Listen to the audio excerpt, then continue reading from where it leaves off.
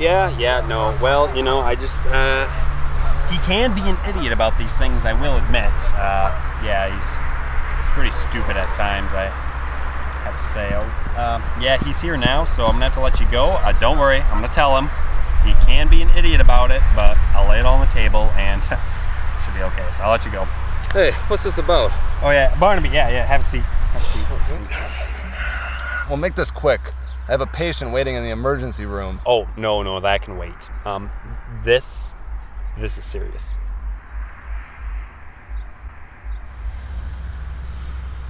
Well, on with it, oh, man. Oh, I'm sorry. It's hard. It's just hard because because we. I can't be friends with you anymore. What is it this time? Oh, it's it's because you're a racist. You're a racist. What are you talking about? No. I just saved a black man about an hour ago. No, Barnaby, no, no time for jokes, okay? Just don't.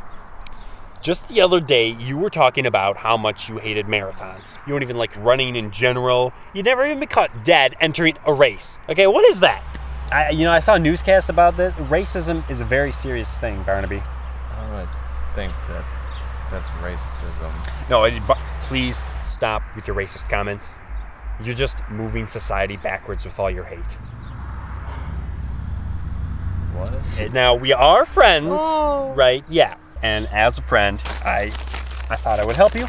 So I have a six-year outline here for you, and basically you're just uh, okay. So the first three months you are just going to be doing a brisk trot. Okay, you're just going to do that for a while, and then you move up by the end of the second year to jogging.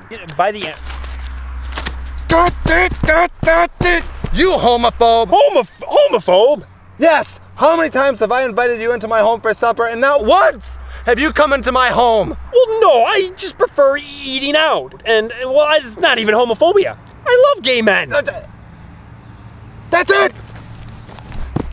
My patient is probably dead. Thanks for wasting another moment of my life. Barnaby, you forgot your outline.